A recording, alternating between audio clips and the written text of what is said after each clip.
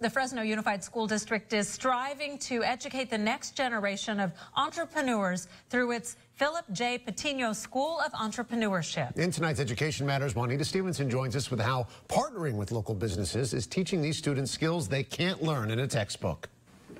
Well, students at the Patino School of Entrepreneurship were given a very unique midterm assignment. Take on a real business clients and produce a product they could use. To do that, they partnered up with local companies who mentored them through the process.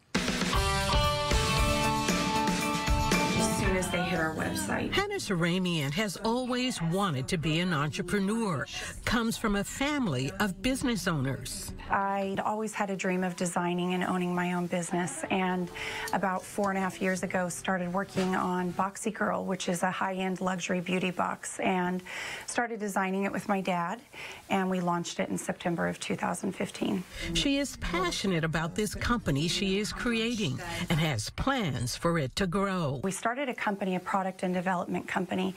And Boxy Girl is our first product that we're launching with. Some code to do a manual slideshow without using JavaScript. This same entrepreneurial spirit is being fostered at the Fresno Unified School District's Phillip J. Patino School of Entrepreneurship, a model high school attracting students who have big dreams. I would like to make video games. So I would like to um, create a company with my friends to make video games and maybe even websites with the skills that learned here. So I want to actually go into the world and create a company. He is learning skills like web design, online marketing, and coding. Here, the work that we're doing is actually meant to do something. We, we're doing work towards something that we actually do in the real world. That real world experience will include creating his own startup. We want them to be entrepreneurs. They're going to start their own companies next year. How do we build those skills in? It'll take you to the website. Perfect. They learn the skills needed to build a business from people who are doing it.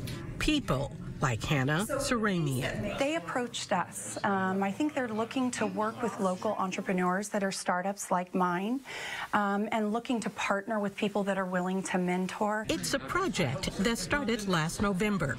Students took on clients like Boxy Girl and Joy Vane Photography. They were given the task of designing a website, an online marketing campaign for the companies. As you can see, we have a header with a nice transparent navigation. With the help of intern partners from Bitwise Industry, in-class technology consultants, and teachers. Students work to produce a product to meet their clients' needs. She wanted different color schemes and she wanted it to be clean, cut, simple, to the point. In what could be described as these students' midterm exam, they had to present to their client, show them the plans they created for the business owner's company. I made a drop down right here. It was also a great opportunity for them to get feedback, to learn. You know, you want consumer to be able to navigate. It's just a phenomenal experience to share my experience and my journey and watch their eyes light up and engage with them.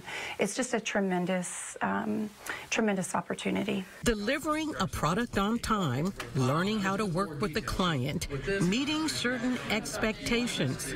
Principal Brett Taylor says is stuff you just can't learn in a textbook. You can have great web development skills but if you can't learn from your customer and client, you can't deliver what they want, if you can't shift to their expectations, you're not going to make it in the business world. Now, this is a real project with students building an online presence. Many of these clients can take back with them and use, and many of them are. They should. It's fantastic, and I think that that is a good point. They have to, this is getting the feedback from the client. That's about as real world as it gets. Yes, yes. and having to pitch to that client yes. as well. And yeah. the engagement that you see in these students, their eyes lighting up, how passionate they're about these things. I, I mean, they, they really are. You talk to these kids, and I mean, they really have plans. They want to build their own company, and yeah. you know how... Uh, these teens and college kids can be. They're all richer than we are. Right. I hear you. I hear you. Good for them. Yeah. yeah. We found some good ones. Juanita, thanks so much.